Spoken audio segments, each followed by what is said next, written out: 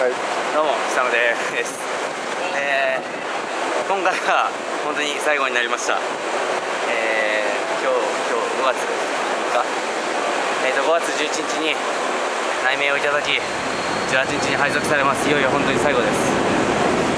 えー、また1ヶ月後ぐらいに会いましょう。頑張れよ。